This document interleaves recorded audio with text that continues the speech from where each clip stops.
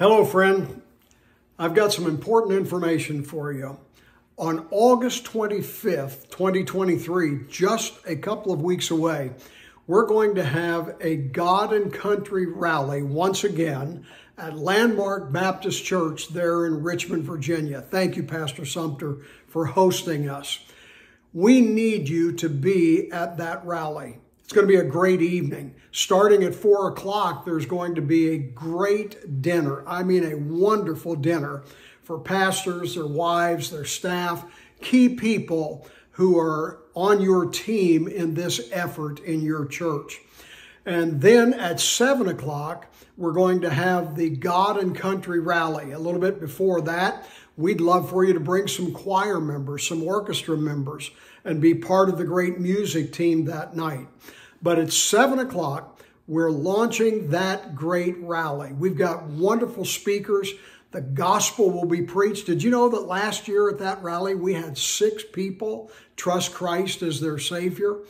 You say, well, Pastor, there's not a big major election this year. Oh, there is such an important uh, voting season coming up.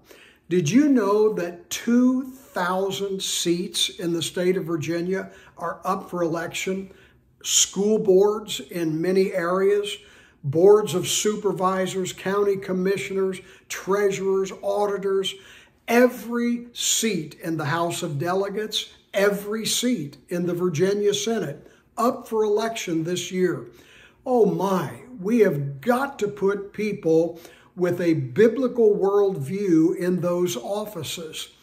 You know, we had demonstrated to us just a couple of years ago during the COVID pandemic how important those local offices were.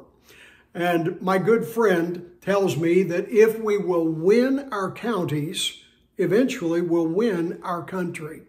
And so it's essential that you be there. Please uh, come and bring folks with you. The dinner starts at four o'clock.